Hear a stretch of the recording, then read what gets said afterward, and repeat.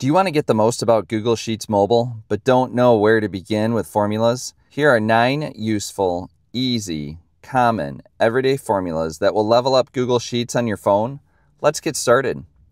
First, let's enter some numbers into Google Sheets. Now let's get right into it. How do you sum in Google Sheets Mobile? To sum in Google Sheets on iPhone, fill in equals sum, open parentheses, select the range of cells close parentheses, and tap the green check mark. How do you find the average in Google Sheets Mobile?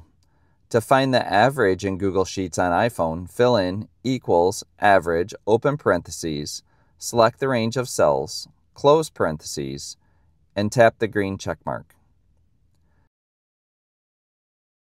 How do you count items in Google Sheets Mobile? To count items in Google Sheets on iPhone, fill in equals count, open parentheses, select the range of cells, close parentheses, and tap the green check mark. How do you find the median in Google Sheets Mobile?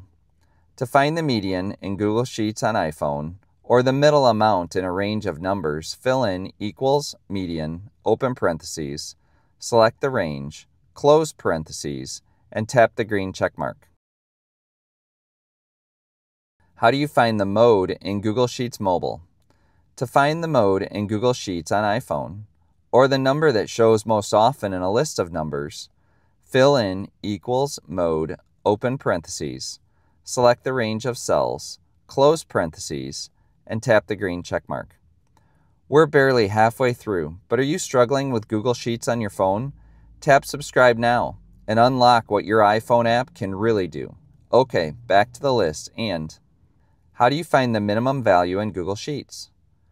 To find the lowest number in a group of numbers in Google Sheets on iPhone, fill in equals min, M-I-N, open parentheses, select the range, close parentheses, and tap the green check mark. How do you find the maximum value in Google Sheets Mobile? To find the highest number in a group of numbers in Google Sheets on iPhone, fill in equals max, M-A-X, open parentheses, select the range, close parentheses, and tap the green check mark.